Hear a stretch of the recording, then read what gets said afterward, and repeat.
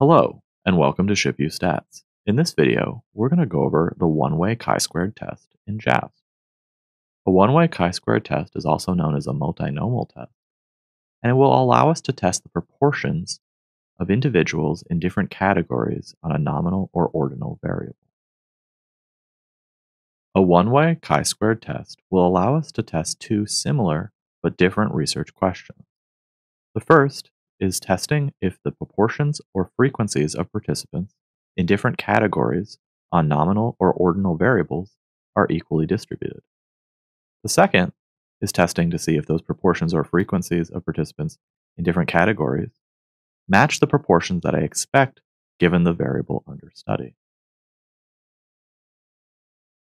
To demonstrate a one-way chi-squared test, I'm going to go over two different examples.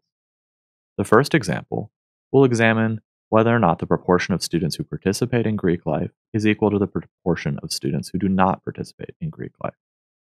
To set this up in my spreadsheet, I'm going to go ahead and enter my variable Greek and enter in numbers such that zeros represent students who do not participate in Greek life and ones represent students who do participate in Greek life. The other example will be smoking. I'm going to look to see if the proportion of students who smoke matches the proportion of people who smoke in the general population. Again, I'll enter my data so that zeros represent non-smokers and then ones represent smokers. Now that I have my data here, I can go ahead and open it up in JASP. Now that we're here in JASP, we can go ahead and set up our variables, and then we can run our analyses. There's two things we should do to set up our variables in JASP. The first is to label our different values. To do this, go ahead and click on your variable name, and you can go ahead and enter different labels for each value. The other thing you should make sure you do is that you change your variable type to either nominal or ordinal. If it's scale, you won't be able to run this particular kind of test. Now that we've done that, let's go ahead and quickly get our descriptive statistics. Go ahead and click on descriptive and move over the variables you're looking to work with. Now that we've done that, we can go ahead and quickly click on frequency table. For a multinomial test, it's our frequencies that we're concerned with, so these are probably the statistics we want most.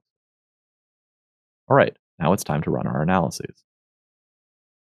To run our analysis, we'll go ahead and click on frequencies and then go to multinomial test. As a reminder, a one-way chi-squared test and a multinomial test are actually the same test. We'll go ahead and click on that and we'll come to this window here. Let's start with our question about Greek life. We'll go ahead and click on Greek and move that over to factor. Factor is just another word for independent variable. Once we've moved that over, we'll go ahead and click on equal proportions, which should be there by default. Once we've done this, we can go ahead and look down here and we'll see our chi-squared value, our degrees of freedom, and our p-value.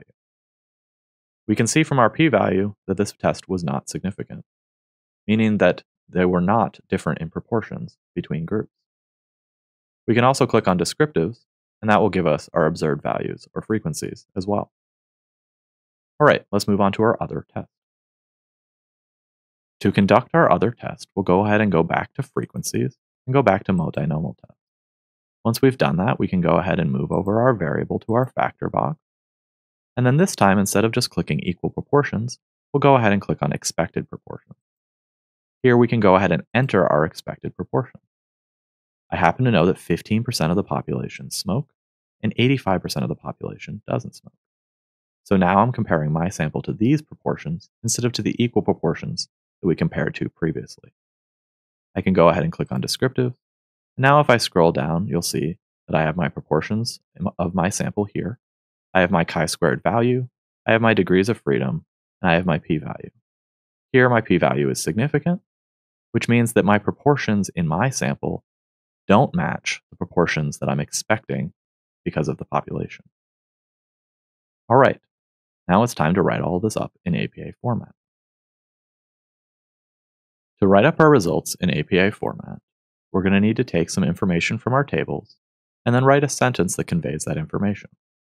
In this particular situation, here's my chi-squared value, here's my degrees of freedom, and here's my p-value. I'm also going to need my total sample size. In this situation, my p-value was not significant. So my sentence is going to look like this one here. I'm going to tell people that the proportions were not statistically significantly different from equal. Then I'm going to make sure I include the relevant statistics. I'm going to go ahead and put my chi-squared symbol in, my de degrees of freedom in parentheses, my total sample size in parentheses with it, our chi-squared value, and then finally our p-value. Let's move on to our other example. In our other example, we did have statistical significance. So this time, I'm going to convey that to the reader. As before, I'm going to enter my chi-squared symbol, my degrees of freedom, my sample size, my chi-squared value, and my p-value. All right, this is how we can go ahead and write up a one-way chi-squared test in APA format. Thanks for watching.